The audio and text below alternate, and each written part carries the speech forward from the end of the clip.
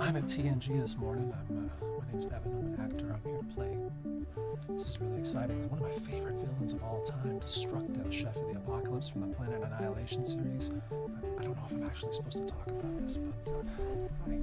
Kate, Hi, I'm Evan. Nice to meet you. nice to meet you. Welcome to TNG. Thanks. You all set? Yes, I am. Let's go.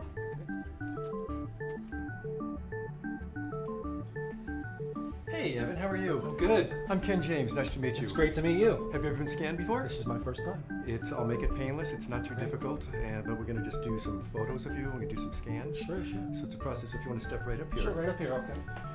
This is actually structured light 3D scanning that we use for television films, television films, video games.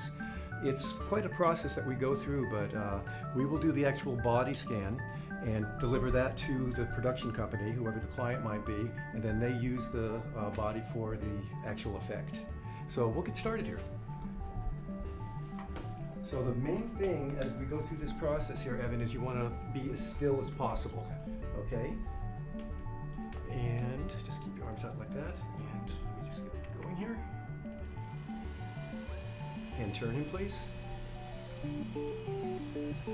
Right now, what I'm doing is I'm just going to do a full upper body scan. Uh, we scan different ways. Sometimes what we do is we do arms, legs, different body parts, and then we will assemble them after it, depending on what the uh, character is. And then other times we will do more full body, like an upper body, a lower body, feet and hands. You're doing good, Evan. Very nice. So right now I'm just trying to cover his upper body and his arms.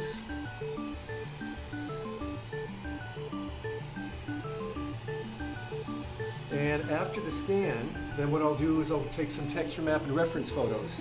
I like to kind of describe this as the scan is the actual body, and the texture map photos and the reference photos are basically the skin, as our mod- modelers put the bodies together. Okay. That should be good for this.